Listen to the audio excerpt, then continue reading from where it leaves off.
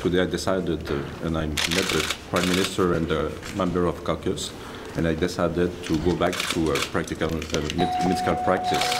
Uh, it's a decision that I took personally, and uh, for me it's uh, very important to be able to come back to my practice. You know, I've received Yves' uh, decision with sadness. I've accepted uh, his decision to resign both as a minister, as a member of the National Assembly, and to return to medical practice.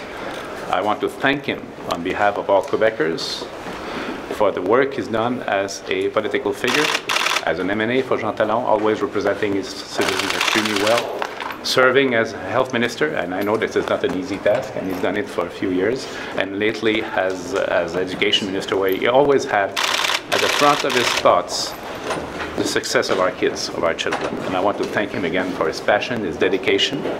It's not a perfectly happy day today, but there will be happier day, happier days in the, fut- in the future.